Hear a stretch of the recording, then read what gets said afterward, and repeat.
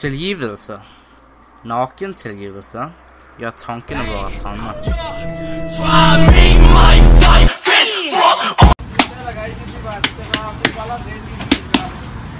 Bare forsoningens vei setter ordene våre fri. Tettere på kom...